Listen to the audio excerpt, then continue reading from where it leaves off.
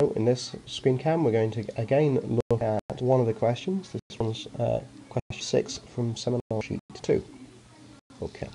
What we're going to try and do inside this this circuit is design the feedback feedback uh, bias conditions for this circuit. So let's label the schematic diagram. I often see things in text like this, but it's difficult until you actually get it on the circuit to know what's happening. 12 volts is our supply voltage. Okay. VCE, the voltage across here, is 6 volts. Okay, that's this potential coming up here. Sometimes you might see the value VC, not VCE. So that's the absolute voltage at the collector. In this case, we're talking about collector emitter voltage. The amount of current flowing in the collector, IC, is said to be 4 milliamps. Okay, 4 times 10 to the minus 3. VBE said to be 0.7 volts. Okay, RU of beta for the circuit is 200. Okay, we have got some other parameters as well, such as IS, and early voltage, and VT. So, question is where do you start? You have to start with Kirchhoff's voltage loop for this circuit. Okay, so if we start at the top of the tree, we start here. We then need to know what volt drop is across RC. We can be accurate, or can, we can be slightly less accurate. Sometimes you have to read the question. The current flowing through RC is total of IC plus this current down here, IB, which means we've got IC plus IB times RC. Okay? We get to this node, we have no equation for VC here, but we do have an equation for this term here. So now we know that IB is flowing through RB. Okay? And then we have VB. So our Kirchhoff's voltage loop will be this. VCC minus IC plus IB RC plus IB, RB, plus VBA. Okay, and I made a mistake here because these are minuses. My um, Wacom tablet's doing strange things with these things. These are all minuses, okay? So we start off with 12 volts, subtract the volt drop across the collector load resistance, we subtract the volt drop across the base resistance, and then we have VBA. Okay, so that's where we start from. Often you're going to be told as well to put these all in terms of one value, one type of current. Like, or so it could be you express everything in terms of IC. Okay, in which case we would rewrite this expression. So we would say 0 equals VCC minus, um, here we've got IC and we've got IB.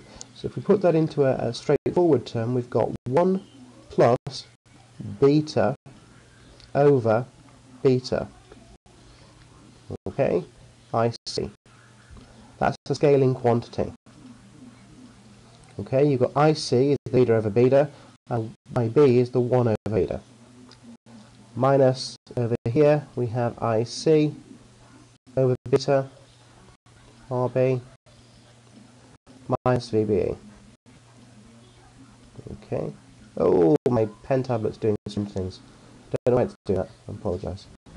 So, there's our KVL. We now want to rearrange the expression and simplify, which is the usual uh, usual remit, we will take um, VCC to one side of the expression. We'll take VBE to the opposite side of the expression. Okay, and that will equal, we collect on terms of IC now, we'll end up with RC plus RC over beta plus RB over beta. A few big jumps there, but that should make a bit of sense. If we divide through both sides by beta, uh, sorry, if we multiply both sides beta, we'll get rid of these two betas on the, on the denominator here. We'll put a beta on the top, which makes it a little bit more simple. So we have to multiply this side by beta as well. Okay, so we've got uh, VCC minus VBE is equal to IC. Let's carry the beta into this bracket. We have beta RC plus RC plus RB. Okay, we're really looking for IC as our expression. So we end up dividing um, this bracketed term over here, all of this lot, and we'll do the same over there. So we've now got an expression that says IC is equal to beta VCC minus VBE, okay, all divided by beta RC plus RC plus RB. Okay, and that's quite straightforward for us. Okay, so we've written out some equations. What we really want to do now is we want to establish what the component values are everywhere. So we want, I'm going to start off here with RC. Okay, the volt drop across RC is equal to VCC on one side and on the other side we know it's the value VCE. Okay, so that's the volt drop across RC. Okay. What's the current flowing in RC? Well, we can say that RC, or IRC, the current in RC, is equal to IC plus IB. Depends on the value of beta. Do we? The, the question you would ask yourself is: Do we forget the value of IB? Okay. And the question whether you actually get rid of it or not. Let's make our life easy. Let's get rid of IB.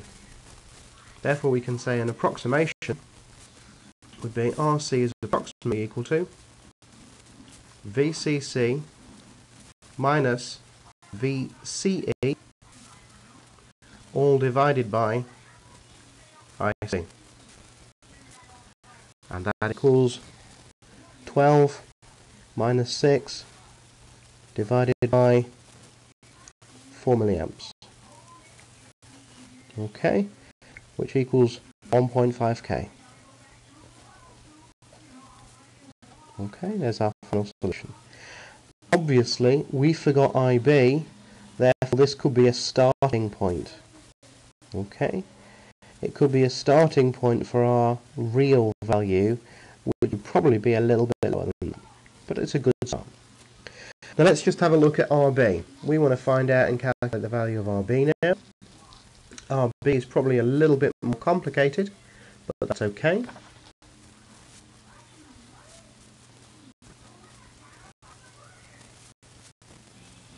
What we're going to have to do is find uh, an, an, equation that we've got for our value of RB. Okay, or we can use the one that we calculated on on first um, page here. Let's start again. Let's just find out what the potential is at this point here and the potential here. So we need to know VC, the absolute collector voltage. We already know that. It's a VCE. So let's calculate RB. So the volt drop across RB is equal to VCE minus VBE. And the current flowing in RB is equal to IB, which is equal to IC over beta. Okay, so let's just put the numbers in for that, that particular expression. Uh, we can now say RB is basically equal to 6 volts minus 0.7 VBE, all divided by the current flowing, in this case is 4 milliamps, okay, divided by our value of beta, which was 200 in our initial design. Okay, and that gives us a numerical value 331 250. Okay, now we also have to remember as well that's also a starting point. It's not going to be accurate, it's going to be roughly uh, okay. So we've got 331